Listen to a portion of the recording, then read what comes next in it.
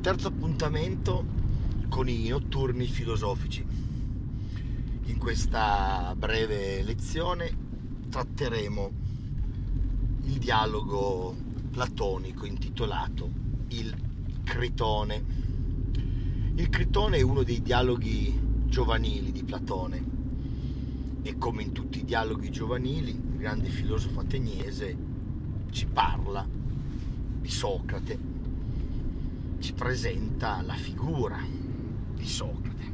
Nell'Apologia, il suo capolavoro giovanile, Platone ci ha raccontato la difesa strenua di Socrate durante il processo che i sofisti democratici, Anito, Meleto, la città di Atene, ha portato avanti contro appunto Socrate.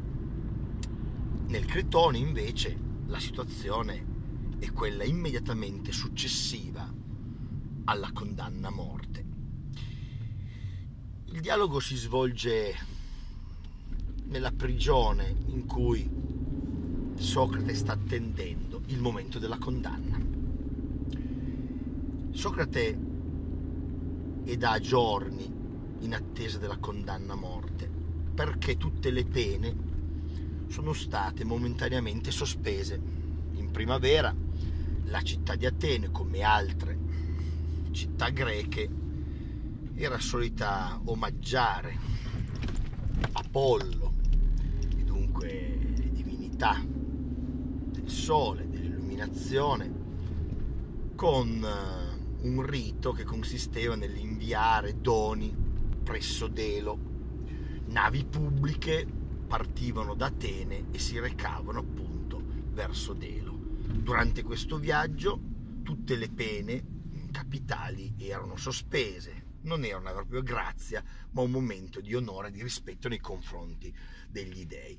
Le pene erano solito poi essere attuate, applicate al rientro delle navi da Delo. Le navi stanno per ritornare e dunque è quasi giunto il momento in cui Socrate deve essere giustiziato. A Socrate spetta una morte dolce, una morte con un veleno, la cicuta, riservato agli uomini onorabili, ai virtuosi, non ovviamente ai criminali eh, comuni. In attesa della cicuta, in attesa dell'esecuzione capitale, gli allievi di Socrate, innamorati di Socrate, i fedeli amici di Socrate hanno preparato l'evasione del maestro. E ad organizzare il tutto è stato Critone, uno degli allievi più legati a Socrate, uno degli allievi più anche anziani, l'allievo che era solito pagare i debiti che lasciava in giro per la città il maestro, il quale non insegnava appunto pagamento, ma ricevendo le offerte dai suoi allievi e si faceva mantenere. E Cretone era uno dei principali sponsor di Socrate. Ebbene, Cretone ha preparato, ha preparato la fuga e si presenta visitando appunto Socrate in prigione e, e gli presenta il piano. Bisogna scappare, bisogna andare, le navi stanno rientrando. A quel punto Socrate interviene dialogando con Cretone, gli dice perché dovrei scappare. Soltanto i corrotti scappano, soltanto i colpevoli scappano, soltanto le persone che hanno commesso un reato scappano. Io non ho commesso niente, ho servito la mia città fedelmente, ho insegnato ai giovani la filosofia, la ricerca della verità, della virtù. Ho insegnato ai giovani che la virtù è tutto e che il vizio è niente, il vizio non va perseguito, il vizio è ciò che ti corrompe quotidianamente, giorno dopo giorno, e ti porta a vivere poi nell'ignoranza, e ignoranza conduce al male. Critone lo invita a ragionare, dice è vero, tu non hai commesso nulla, ma la città ti ha condannato lo stesso, la città ha sbagliato.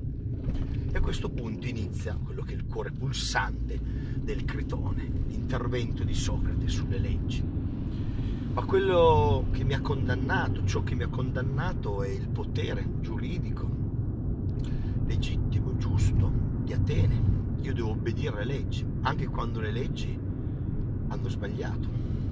Perché non osservando le leggi, quale esempio darei? Cosa insegnerei ai miei allievi? Io ho insegnato ai miei allievi a rispettare la comunità, la città, la politica, sempre. Di seguire la coscienza quando le leggi sbagliavano, ma comunque di rispettare le leggi. Dunque Socrate non è un rivoluzionario ribelle in questo, è un obiettore di coscienza che dice di pagare eventualmente con la propria vita o con le proprie eh, azioni le scelte fatte, perché bisogna seguire la coscienza prima ancora delle leggi, ma le leggi vanno comunque rispettate. Cosa insegnerei dunque ai miei allievi? Annullerei con una fuga tutti gli anni di insegnamento, annullerei con una fuga tutto quanto ho insegnato per le strade di Atene. Cretone lo invita ancora a riflettere, a ripensarci. Ha detto, tu hai servito le leggi, ma le leggi ora ti tradiscono. Senti Cretone, gli dirà Socrate, se io scappassi e dovessi un giorno incontrare le leggi, il dialogo qui si fa magnifico. La costruzione letteraria di Platone è veramente straordinaria. Cioè Socrate immagina di incontrare le leggi, le leggi vengono personificate. Se io dovessi incontrare le leggi, cosa gli direi? Avrei il coraggio di guardarle. Tu dici che non faccio del male a nessuno scappando, Cretone, io invece faccio del male alle leggi, perché non le rispetto, e faccio del male agli altri cittadini, perché con il mio esempio li indurrei a non rispettare a loro volta le leggi. Se incontrassi le leggi avrei ancora la forza di guardarle negli occhi, avrei la forza di rispettarle, avrei la forza di provare per esse quel degno rispetto che esse meritano. No, tradirei le leggi, tradirei lo spirito della comunità, perché le leggi non sono al servizio di un singolo uomo, non sono al servizio di un politico, di un potente, di una fazione. Le leggi sono ciò che permettono la vita associata, che permettono la vita della comunità e le leggi vanno rispettate dal cittadino che occupa le posizioni più elevate al cittadino più umile. Le leggi fanno la comunità. Le leggi fanno la possibilità di vivere insieme, le leggi fanno la possibilità che la città sia ricca e fiorente, le leggi stabiliscono la fiducia tra i cittadini e rispettarle significa accrescere questa fiducia. A questo punto Cretone capisce che Socrate mai avrebbe, avrebbe accettato il piano di fuga, che mai Socrate sarebbe eh, scappato e non gli resta che ascoltare ancora di più l'elogio che, che, Cretone, che Socrate fa delle leggi, dicendo proprio che le leggi sono ciò che permettono la convivenza civile, le leggi sono il retroterra che permettono agli uomini di stare insieme perché ci sia politica servono le leggi. Aristotele e poi Platone che sosterranno per Aristotele che l'uomo è un animale politico e ragionerà intorno alle leggi e ai governi come punto mm, di, di, di, equilibrio per la vita associata. Ma già in Socrate c'è questo grande rispetto nei confronti delle leggi come elemento determinante per poter vivere insieme. Ma soprattutto le leggi, ci dice Socrate, vanno rispettate da tutti, perché altrimenti il non rispettare delle leggi, il non rispetto delle leggi crea una frammentazione, una mancanza di fiducia che fa crollare la vita associata. La vita associata si fonda sulla cooperazione, sulla collaborazione, sul rispetto reciproco. Dunque le leggi devono essere rispettate e devono essere fatte rispettare, perché altrimenti c'è un'implosione della comunità. Ma pensate soltanto anche a quella che è la nostra vita oggi nella comunità politica in Europa, in modo particolare rimaniamo pure all'Italia, la carenza di fiducia che vi è negli italiani nei confronti della legge nasce anche dal fatto che molte leggi non sono rispettate da coloro che le emanano, da coloro che le dovrebbero fare rispettare, da coloro che le hanno scritte, da coloro che le hanno promulgate, la mancanza di fiducia di molti italiani nei confronti della legge nasce proprio dal fatto che le persone che coprono le posizioni apicali della nostra società, i politici, gli imprenditori, non rispettano le leggi. Noi abbiamo imprenditori, il caso ultimo quello di Marchionne, come altri imprenditori prima delle automobili, che barano sul le leggi ambientali, ma che rispetto ci può essere dell'ambiente anche da parte delle persone più semplici, comuni, quando coloro che hanno grande potere e grande responsabilità barano alla ricerca del profitto, barano alla ricerca della convenienza privata. Che possibilità c'è di vita insieme se coloro che hanno grande potere non rispettano le leggi?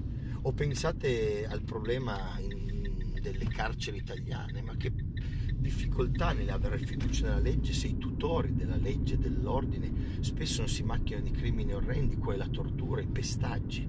Viene meno la convivenza civile in questo modo, perché il caso Cucchi non parla soltanto di Cucchi, ma parla di ogni cittadino che nel momento in cui è fermato da un poliziotto può avere paura di essere picchiato, di subire queste violenze, perché un uomo di legge, più che la persona comune, deve rispettare in maniera totale la legge, l'essenza della legge, i limiti della legge, la razza della legge, perché se non c'è rispetto della legge, crolla appunto il patto di convivenza civile.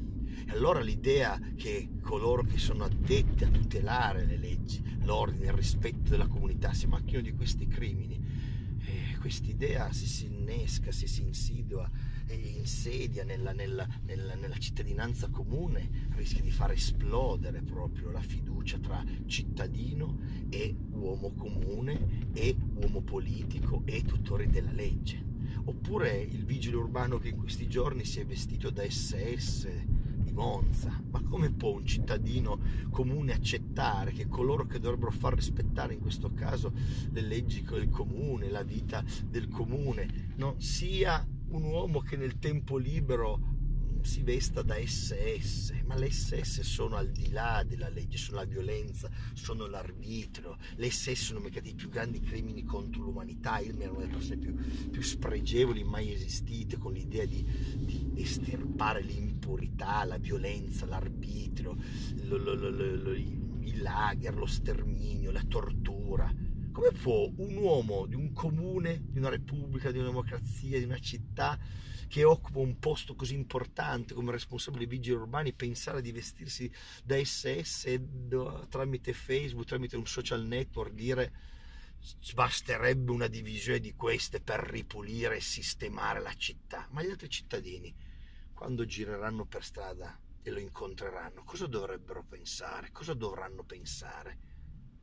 Servirebbe a questo punto una legge seria, un potere politico serio che rimuovesse immediatamente queste persone. Non sarebbe una punizione rimuovere, ma sarebbe un far fiorire la nostra democrazia, un farla rispettare, iniettare fiducia nei cittadini nei confronti della democrazia. Per queste persone che non rispettano la legge, dovendola tutelare, sono il cancro della democrazia, sono il cancro delle leggi, perché sono l'esempio lampante che il potere abusa delle leggi, che il potere non le rispetta, che il potere può fare a meno delle leggi. E quando coloro che le dovrebbero tutelare si macchiano di questo non fanno un danno alla singola persona, ma completamente alla collettività, alla comunità. E in questo lezione di Socrate del Cretone non, non, non è mai fuori dal tempo, ma è sempre presente. L'uomo deve immaginare di dialogare con le leggi, di confrontarsi con le leggi e le leggi cosa dicono l'uomo? Le leggi dicono l'uomo rispetto, le leggi dicono l'uomo l'universalità della legge, l'universalità dei diritti, le leggi dicono l'uomo che di fronte alla legge vi deve essere quel senso di rispetto che Socrate considerava sacro. La legge è laicamente sacra, cioè degna di rispetto e va seguita. Nel caso di Socrate anche quando ha sbagliato, perché per Socrate una legge che ha sbagliato la si può comunque mettere in luce nell'errore rispettandola e insegnando agli allievi, agli altri cittadini che essa andrà cambiata ma all'interno di un patto, all'interno di una comunità perché altrimenti il prezzo da pagare è quello del vizio, della corruzione, della frattura di un patto politico ed è proprio questo che vuole evitare Socrate. Socrate è fedele alla città di Atene, non fugge anche quando potrebbe farlo perché pensa che la responsabilità politica, collettiva delle persone di, di pubbliche, di incarichi pubblici, sia questo rispetto, questa responsabilità ancora più grande delle persone semplici. E direi che la lezione di Socrate in Italia dovrebbe essere imparata, fatta propria da molti, da molti politici che amministrando la Repubblica eh, spesso si macchiano di tangenti, di furti, creando così proprio una sfiducia di cittadini nei confronti della comunità politica.